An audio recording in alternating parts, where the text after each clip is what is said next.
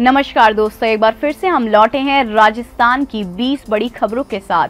वसुंधरा सरकार की योजना बंद कर मोदी सरकार की योजना शुरू करेगी गहलोत सरकार। राजस्थान में सांगानेर रेलवे स्टेशन पर पटरी से उतरी ट्रेन चालक हुआ घायल। राजस्थान में किरोड़ी बैंसला का ऐलान 8 फरवरी से आंदोलन करेगा गुर्जर समाज। राजस्थान में लोकसभा चुनाव की तैयारियों पर कांग्रेस नेताओं की हुई बैठक। राजस्थान में भाजपा के आंदोलन से पहले कांग्रेस सरकार ले सकती है बड़ा फैसला। जयपुर में आईआरएस सही राम के गलत काम, पत्नी के बाद अब बहू के लॉकर से मिला 27 लाख का सोना 24 लाख कैश। राजस्थान के पूर्व मुख्यमंत्री का स्वास्थ्य हुआ खराब, अस्पताल में भर्ती, सीएम गहलोत पहुँचे मिलने के लिए।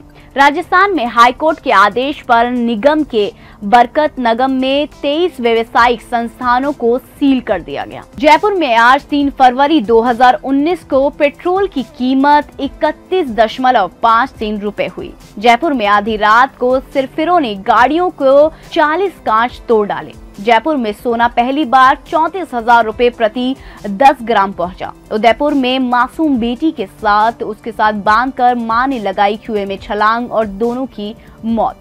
डिप्टी सीएम पायलट ने कहा, बागियों को कांग्रेस में वापस लेने का कोई भी प्रस्ताव नहीं। राजस्थान में स्वाइन फ्लू से दो और रोगियों की मौत हो गई। राजस्थान सरकार पर 20 करोड़ का जुर्माना और बांडी नदी में प्रदूषण रोकने में विफल रहने पर कार्यवाही। सीएम सचिन पायलट का बड़ा बयान सामने आया। राजस्थान में कोई भी विधायक नहीं लड़ेगा लोकसभा चुनाव।